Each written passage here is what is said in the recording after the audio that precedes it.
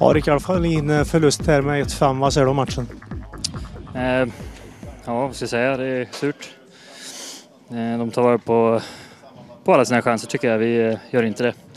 Eh, såg väl några gånger i första och de får överläge och sen eh, blir det en konstig sista period med tanke på den fem minuter som börjar.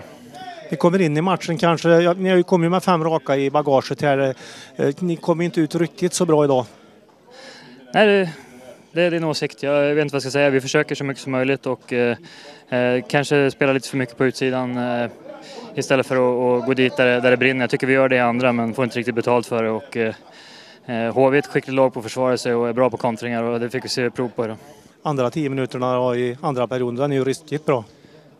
Ja, eh, som jag sa, vi, vi är där och vi skapar lägen. Och det gäller att trycka dit dem i sådana här jämna matcher och, och få liksom lite energi till laget. Vi fick aldrig riktigt den, den eh, boosten att vi, vi fick in eh, ett eller två mål och, och, och kände att vi, vi var riktigt där. Utan vi, vi, kom, eh, vi kom nära men inte tillräckligt. Efter den här fem minuten så, så blev det ju för mycket med, med 1-3 där och, och det slet ganska hårt. Så tyvärr, det, det känns jobbigt. Jag tycker det Ja, det, det är synd när, när vi vill så gärna med, med bra publik och, eh, och lördag och allt sånt där. Det är, är en sån match man verkligen vill vinna.